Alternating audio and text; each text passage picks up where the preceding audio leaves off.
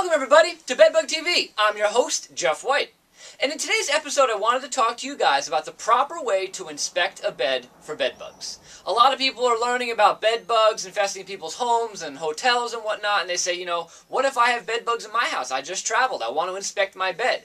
And it's not quite as easy as just taking a look at the top of the bed and seeing if you have bedbugs. They hide very well. And so I'm going to point out some very common areas that you may find bedbugs if they did, in fact, infest your bed.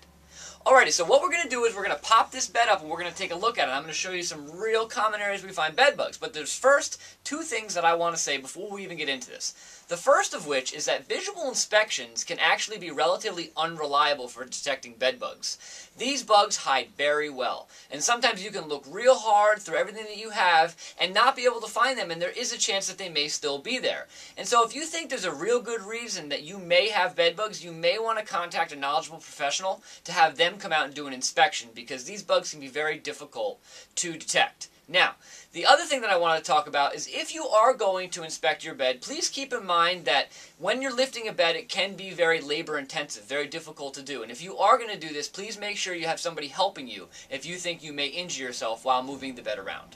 Alright everybody, so let's go take a look at this bed and we'll see what we can do here. So, the first thing that you want to do when you're inspecting a bed is take a look at the visible areas of the bed. If there are bed bugs in your bed, you may be able to detect them without moving anything. And so the first thing you want to do, of course, is to remove the sheets and comforters on your bed. When you are doing that, you want to make sure that you do it very, very slowly, so that way you don't fling any bugs all over the place as you're doing it. And you do want to take a quick look at the comforter and sheets to make sure there aren't bugs on them. Now, I don't have those on this bed. This is one that we use for training purposes. I didn't have any sheets available. But just take a quick look at those, put them in a laundry bag, and then wash them or set them aside. And then what you're going to have is what we have here, which is an actual bed itself. Now, the first place you want to look is what you can see right in front of you.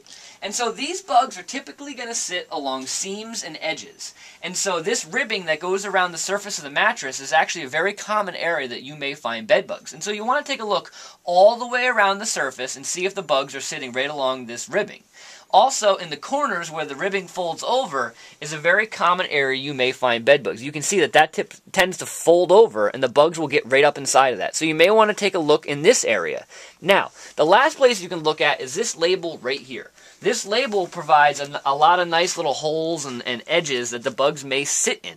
And so you may want to, if this is your bed, peel this label off to take a look under it, or just take a look around the outside surface and make sure there's no bugs sitting on it.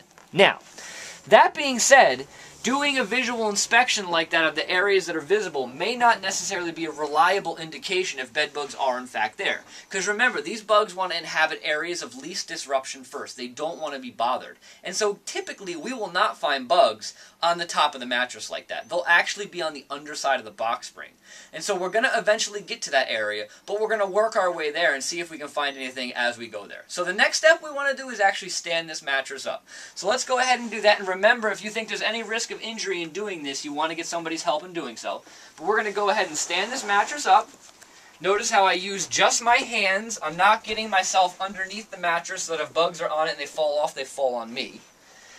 So you're going to stand this mattress up, and now what we have here is the same thing we saw on the top, but now on the bottom. And again, you're going to look at where this ribbing meets the mattress, up in these corners where it folds over, and then over here on the side, you're going to have two pieces of ribbing that run down the side. You're going to check both sides of that, make sure there are no bugs sitting along that ribbing. Now, once you've done that, you've pretty much covered the mattress. But as I said, the most common area you find bed bugs is actually in the box spring. So let's go and check out the box spring now.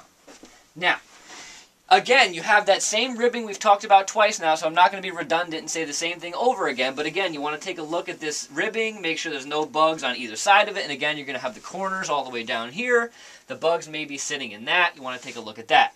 The real good area that we want to look for bed bugs is on the underside of this box spring. So again, let's go ahead and stand this up. And again, you can see I'm working away from the bed as much as I can.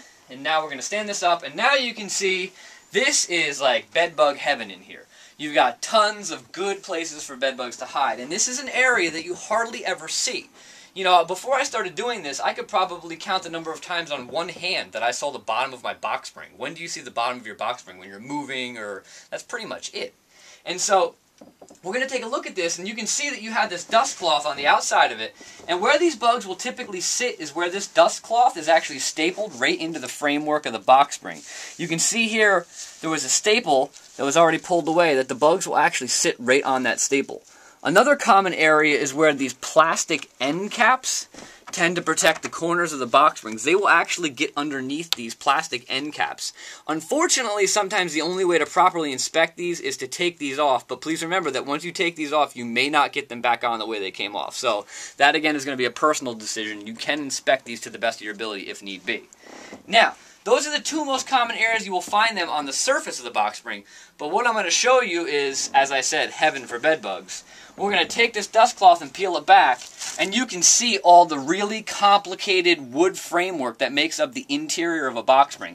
Lots of really good places for bugs to hide. All types of cracks and crevices. And to be honest with you, if there are bugs up inside the framework of this box spring, you may never be able to detect them because it's very difficult to see what's going on in here. But again, you're going to do the best of your ability. You're going to take a look, see what you find. Remember though, once you start to disattach this from the box spring, it may not go on the way it came off, so just be aware of that before you do this. and again, you're going to look for spotting and bugs and see if there's bugs there. Now, if you've gone through this and you found bugs, unfortunately you may have bed bugs and you may have to get a treatment done at this point. Now, if you have not found bugs yet and you still want to continue on, we can take a quick look at the bed frame. But again, the bed frame, especially these traditional metal bed frames, don't typically have bugs on them. So what we're going to do is the places you want to look on this metal bed frame are where the actual metal framework meets. You can see you have a gap right here, and here you can see we put um, felt on this bed frame, which I'll talk about in a second. But again, the bugs are typically going to sit right along where this framework meets. But again, this is not a common area that we find bugs. Just take a quick last look at it as you have it up.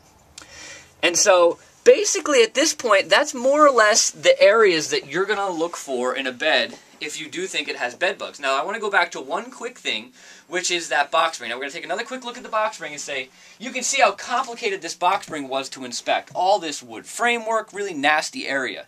One thing that you can consider, if you have, you know, a box spring at your house and you're scared you may infest it at some point in the future through travel or whatever the case may be, here we have a box spring that's actually encased with a box spring encasement you can see that this drastically simplifies that complex area and makes this very easy to inspect in the future.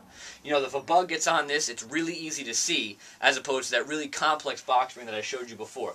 So bed encasements are definitely something that you may want to consider if you think there's a chance that your bed may become infested in the future. And this is not meant to be an advertorial for Protect-A-Bed, but Protect-A-Bed encasements are the ones that we typically recommend. There are other good encasements out there, such as Mattress Safe is another good encasement that we commonly hear people working with. The bottom line is with encasements, you want to make sure you have research that backs their claims that it's effective to keep bugs out so bugs can't get into the encasement. And then if you do lock bugs in, they can't get back out of the encasement. You want to make sure they have research to back their claims. Alrighty, everybody. So that's the proper way to inspect a bed for bed bugs. Please remember, visual inspections do not necessarily mean that you don't have bed bugs if you don't find them. You may want to contact a knowledgeable professional. But either way, that's a good way to inspect a bed. So if you have any questions, jeff.white at bedbugcentral.com. And please remember, we're getting a blog up really soon that's going to have a lot of these questions answered right on that blog, and you can go and interact with other viewers of the show. Alrighty, everybody. I hope to see everybody soon enough.